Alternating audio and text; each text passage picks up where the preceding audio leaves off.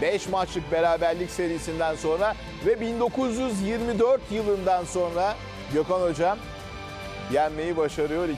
Nihayet bir de herkesin ihtiyacı olduğu bir zaman. Ee, gecenin sonuçları ekrana yansıyor. Ee, Norveç 2-0 yapmış. Biz aşağı inerken 1-0'dı. Hollanda Cebeli Tarık'ı 6-0 mağlup etmiş. Ee, ve biz de Letonya karşısında 2-1'lik galibiyetle puanımızı 15'e yükselttik. Dolayısıyla yola devam ediyoruz. Umut yolculuğumuz sürüyor. Hollanda 19, Norveç 17, Türkiye 15 puanda, Karadağ 11'de kaldı ve değerli izleyenler e, bu sonuçların ardından biz de umuda tutulmuş olduk. Dünya Kupası elemelerinde e, umudumuzu son iki maça Kasım ayına taşımış olduk Gökhan Hoca. Çok zor oldu ama. Yani e, şu uzatmalarda oynanan hani hakemin gösterdiği dört- 70'te geriye düşüp Şimdi maçı yukarıdan seyrederken Ender'cim Ercan kardeşim var Ercan Torunoğulları. 1-0 gerideyiz.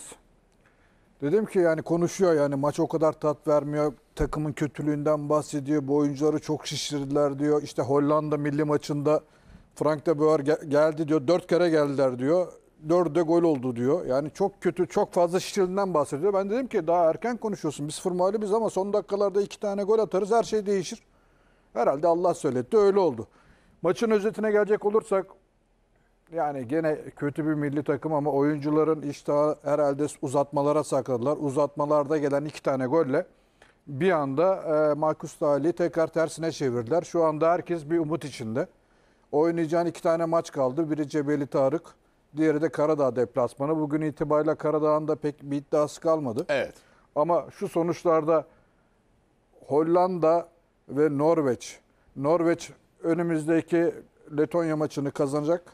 Ondan sonra da Hollanda ile grup birinciliği maçı oynayacak. Ama o maçta dediğim gibi yani yayından önce konuşmuştuk ilk programda. Eğer Norveç Hollanda'ya 2 puan eksiyle giderse şam- gruptan çıkma maçına çıkacak Hollanda'da. Hollanda'da bırakamayacak. Bizim iki maçı kazanmamız halinde artık çok büyük şansımız var gruptan çıkma adına.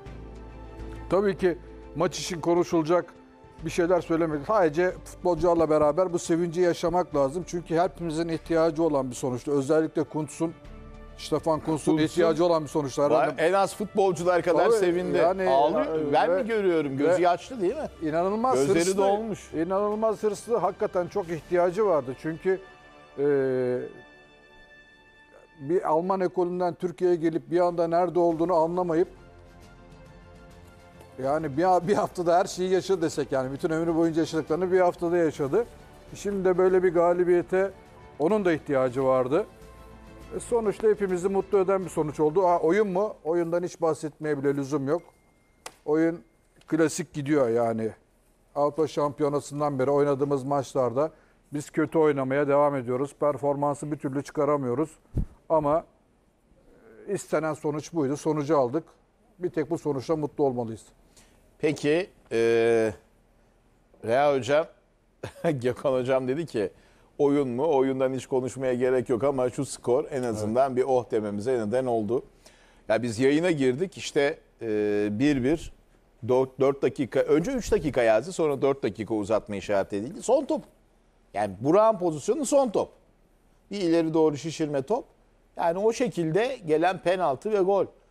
Ee, ya bazen bazen sonuçlar da önemli. Oyunu siz hep söylüyorsunuz oyun üzerinden okumak lazım diye ama bazen de anı yaşamak gerekiyor. Ee, en azından şu anda onu e, bir keyfini yaşamak lazım bir anda olsa. Ben tabii genel yapıda söylüyorum oyun yani değerli diye Ee, ama yeri geldiğinde de tabii ki o anları doğru bir şekilde e, yaşamak gerekir. Kendi lehimize çevirdik. Yani şimdi bu galibiyet ne oldu? Kuntz'a böyle bir galibiyet Çok şarttı. lazımdı. Niye? Zaman ve sabır bu süreç kısa vadede skor da alması gerekirdi. Şimdi Dünya Kupası'na gideriz gitmeyiz o ayrı ama moral ve motivasyon ve kendi yapacakları açısından önemliydi. Bugün milli takım istenen performansına çok uzaktı. Oyuncu anlamında da çok uzaktı. Saha içi organizasyonu zaten temel yapısal sıkıntıları çok var. Şimdi Kuntz zaman ve sabır e, onun için ona lazım. Hatta programın e, yani e, başında da maç önü yaptığımızda orada da dile getirmiştim. Ya bu süreçte e, fazla böyle yaralanmadan, hırpalanmadan Kuntz'un devam etmesi açısından yeni bir şeyler oturtması için milli takımıza mutlaka bu süreçte de e, e, tanınması gerekir. Mutlaka e, herkes de destek vermesi gerekir. E, ama skoru da almak 1-0'dan böyle bir reaksiyon 2-1 çok önemliydi. İlk yarı kurguyla çık, çıktı. İlk 11'de Zeki çok kötü, Caner çok kötü. Hakan hiçbir şey oynamıyor, hiç sorumluluk almıyor. Yasak savar gibi oynuyor saha içinde. Aynı şekilde Orkun, Kerem, ya Burak devamlı mesela pozisyonlarda yere attı, foul aldı, gereksiz foul istiyor, hepsinde yaptığı foul. Cengiz zaman zaman parlıyor, zaman zaman kendini oynuyor. Takımdan ayrı pas opsiyonları var. Aksine şutu deniyor içeri mesela evrildiğinde. Yani milli takım bir bütünlük arz etmedi. Şimdi böyle maçlarda dokunuşlar tabii çok önemli. Şimdi 65'e kadar da Kuns işin gerçeği geç kaldı o dokunuşta. kaldı. Şimdi Serdar Dursun da çok geç kaldı Serdar'ı mesela. niye alması gerekir? Maç çağırıyor zaten her maç, onu. Aynen e, çok güzel söyledin. Şimdi bir geniş şimdi oyunu genişletmen lazım. Artık bir set ucumu rakip topu sana bırakmış. iyice geriye yaslanmış. Burada gol olur olmaz. Maçı 1-0'da o 65'te at- e, 65'te 1-0 mı 1-0 mı da? Yok, 0-0. 0-0'da pardon.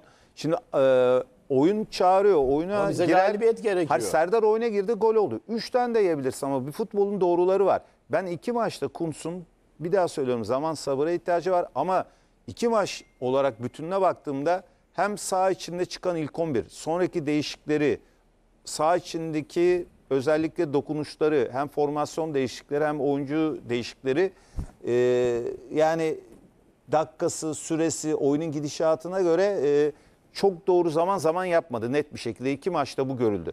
Ama e, bu oyuncu havuz, havuzumuzu genel olarak tarayıp Kuntz bu oyuncu havuzumuzdan özellikle bu kısa vadede alınan skorlarla beraber orta uzun vadede daha kendi felsefesine göre daha o, anlatılabilir, daha böyle saha içinde net gördüğümüzde evet bu milli takım bizim.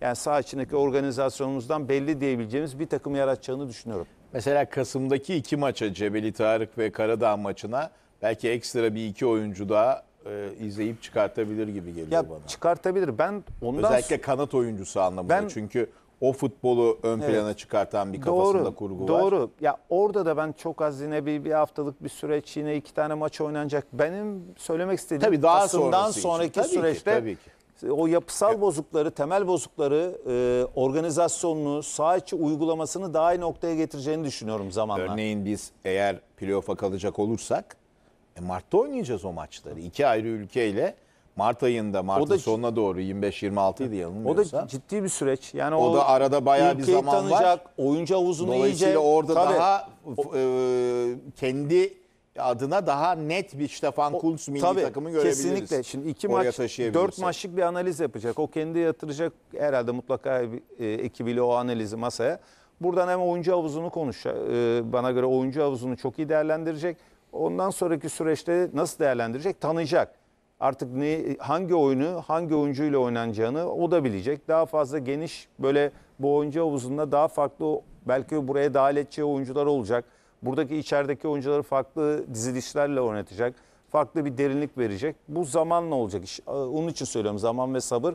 Ya zaman Kuntz'un lehine mutlaka çalışacak o zaman.